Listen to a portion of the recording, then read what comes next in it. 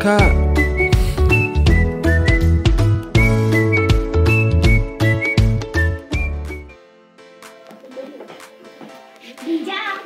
Ya. ¿Ya? Sí. ¿Está grabando? Sí. ¡Bienvenidos! ¡Bienvenidos! A otro episodio más de Vamos a sufrir con las mates. Que no. Vamos a aprender a sumar fracciones con distinto denominador. ¿Vale? Vamos a ver. Nos dan dos fracciones. La primera es 40. ¿Vale? Dice, me la tenéis que sumar, por favor, por favor, por favor, con una que son 15, 32 avos. Qué decimos? ¡No se puede! ¿Y qué dice el profe? ¡Sí se puede! ¿Y qué decís vosotros? ¡No se puede! Y digo yo, ¡callaros! Que sí se puede.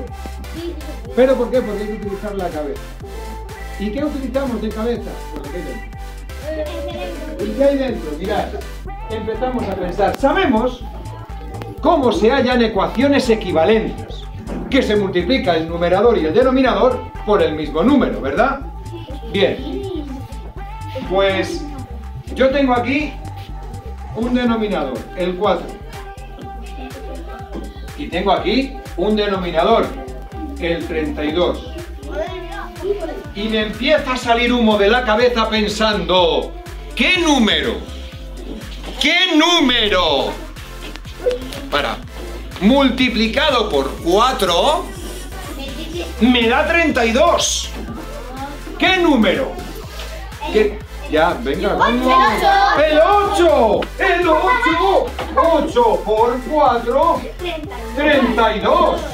¡Sí! ¿Qué cuatro más raro? Pues si yo multiplico el denominador por 8, para que me dé 32, tengo que multiplicar el numerador por 8 para que me den 32. ¡Profe, qué estás diciendo! Lo que hoy. Tranquilos.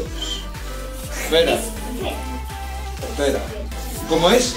Espera. Espera. Vamos a hallar una ecuación equivalente. Multiplicamos abajo por 8 y me da 32. Para que esta ecuación sea igual que esta, tendré que multiplicar también el numerador por 8. 8 por 3, 24. más 15, 32 avos. ¿Ahora la puedo sumar? ¿Ahora la puedo sumar? Sí, ¿y qué me da? 32 en el denominador. Sumamos los numeradores y esto es 39. 32 Y ahora viene el tacha. ¿Me quedo solo? ¡Más fuerte! Tenía que haber parado ya, ¿eh? Eh, con esto y un bizcocho hasta mañana.